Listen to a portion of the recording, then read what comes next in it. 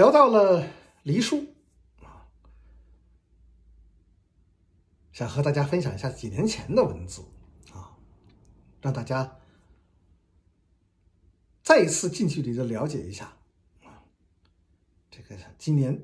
年方五十四岁的嗯，传媒教父李瑞刚，嗯，了解了解李瑞刚的资产版图啊，看一看。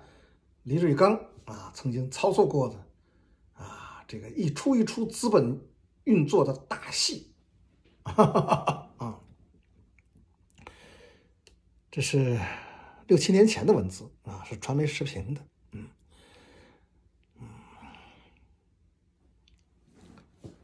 笔者听圈内的圈圈内的人说，出名的传媒业的教父级的人物李瑞刚再婚。迎娶的是八零后的美女杨元草，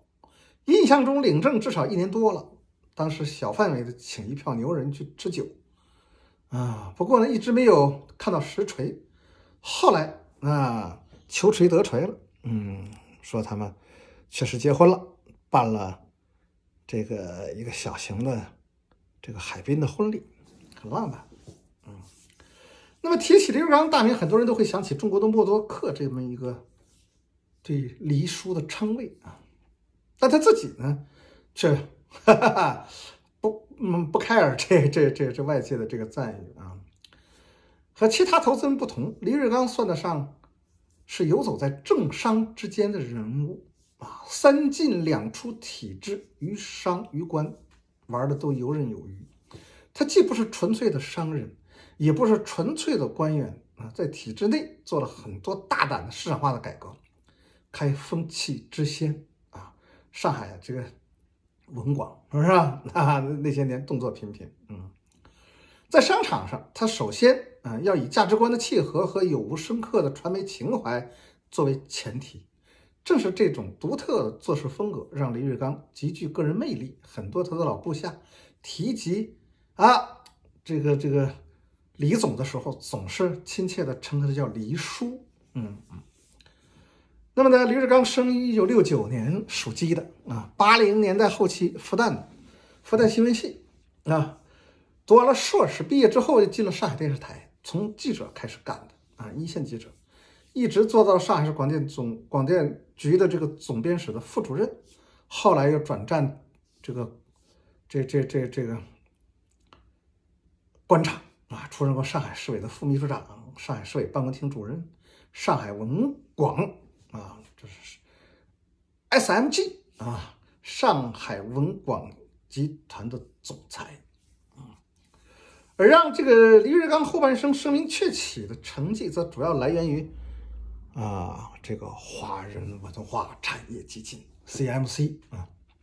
二零零九年，华人文化基金成为了首个在国家发改委备案通过的文化产业私募股权基金，基金的规模是二十亿人民币。而华人文化基金的股东们，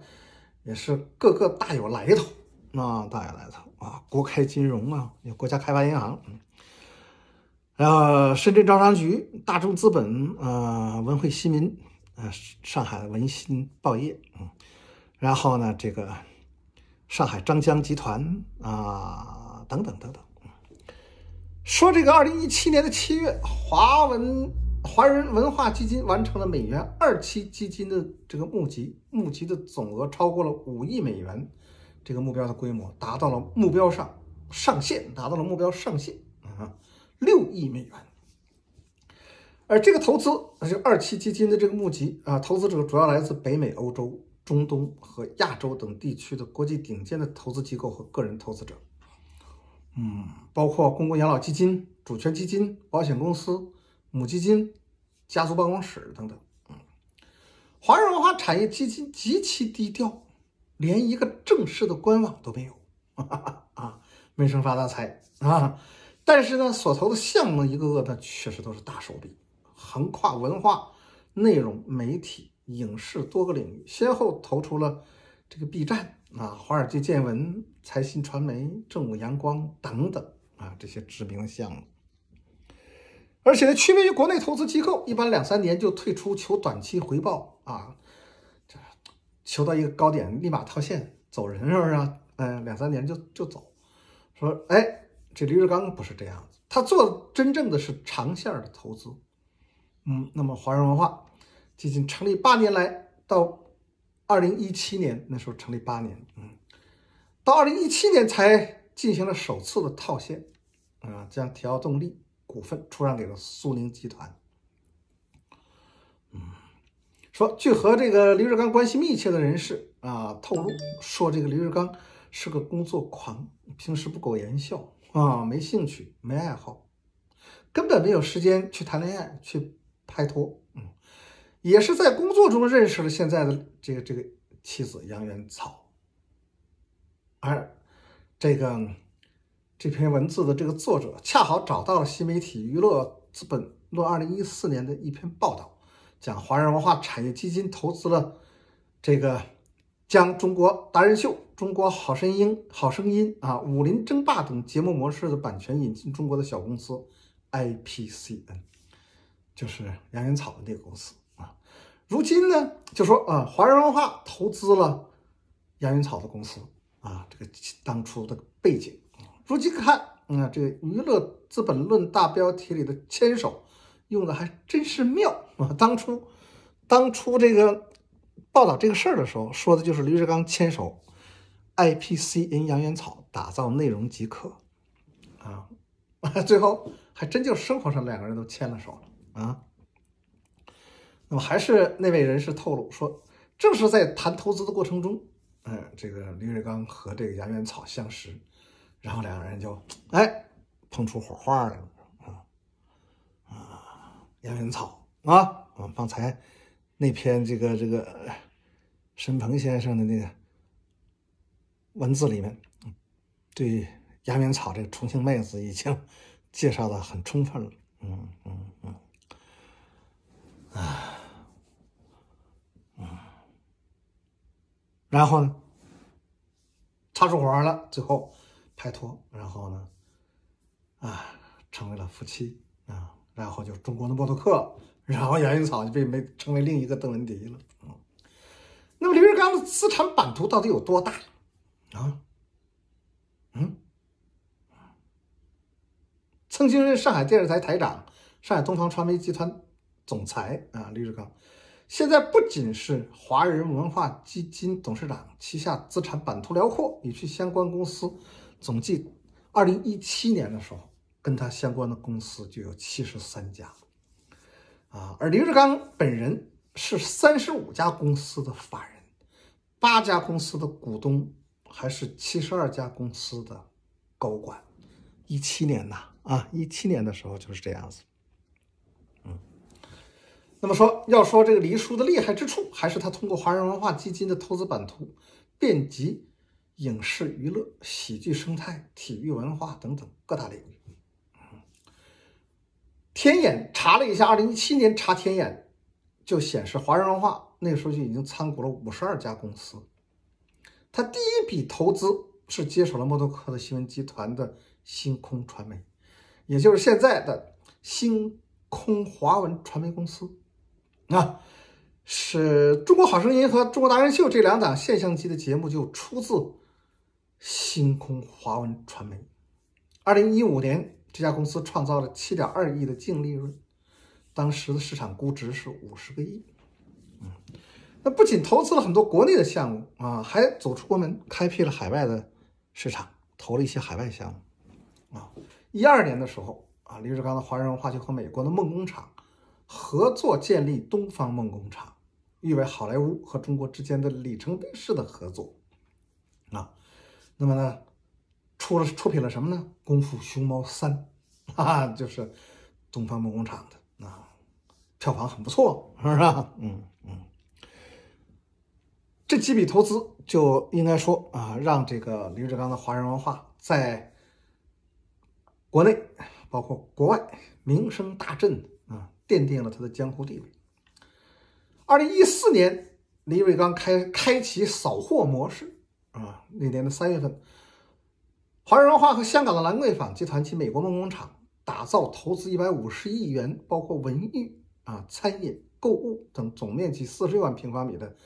梦中心。一个月后宣布投资 IMAS 中国四千万美元，占股百分之十。两个月后，以两亿人民币投资了在线票务网站格瓦拉。同月，月了乐华娱乐也获得了华人文化的三亿人民币的 B 轮的融资。这是二零一四年，二零一五年，华人文化与腾讯腾讯产业共赢基金共同投资了这个 B 站的弹幕视频网站，并且在众多的视频网站中冲出重围。那二零一七年年初啊，估值那时候就是十五亿。嗯，之后啊，又成立了微晶科技，发展起了硬件产业，叫微晶电视。二零一六年。那这个华人文化一手打造《欢乐颂》啊，《伪装者》《琅琊榜》啊啊啊，将啊将一手打造出这个《欢乐颂》啊，《伪装者》和《琅琊榜》啊，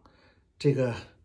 这这这类爆款的影视剧的那个公司叫正午阳光，哈哈啊，也给收了，也让李瑞刚给收了。嗯，那么一七年的五月份。华人文化和招银国际还有聚联资本共同投资了四八传媒那个 S N H 四十八项目，这个国内的朋友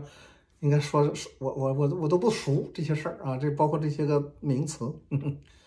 啊什么呢？啊，就是众多宅男女神塞纳和小姐姐们所在的公司，啊，这这这。都是美妹啊！二零一七年六月份，华人文化完成了对脱口秀大会和吐槽大会制作团队效果文化一点二亿轮的 A 轮领投啊！当时那个时候，吐槽大会和脱口秀大会那个时候啊，创下了网络综艺前所未有的双十亿点击，嗯。也是二零一七年，华人文化又通过 SPV 华人优米影院管理上海有限公司收购的上海思远影视文化传播有限公司啊，也完成了股权变更。嗯，除此之外还有什么？在黎叔的商业版图里面，哈哈啊，财经媒体啊，啊？说先后投资了财新传媒、上海的第一财经。华尔街见闻啊，不久的将来再投一家就可以凑一桌打麻将了。他说，二零一七年的时候，他说，他说再投一家正好，现在三缺一嘛，你到时候再来一家就可以打麻将了。嗯嗯。最后啊，作者说，如今啊，李志刚不仅出任 CEO，还成功的迎娶了白富美的创始人，哈 哈白富美创始人。这才是走上人生巅峰的节奏，哈哈哈啊！嗯，当时他预言，那说不过中国的默多克和邓文迪都还年轻，故事才刚刚开始。啊，这是六年前的文字，你看这故事啊，最近这几天又是一个大的高潮，又一个好故事横空出世，是吧？分享这些，谢谢大家。